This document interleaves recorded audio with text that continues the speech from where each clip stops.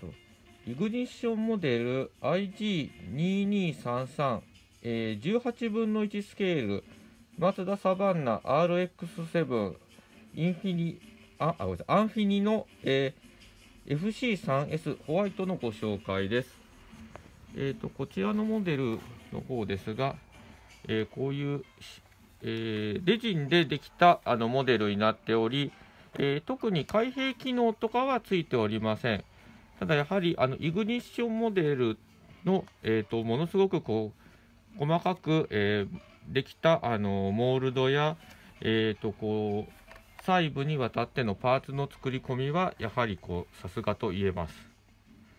でボディの方もすごくこう白の際立つ光沢のボディになっております。こういう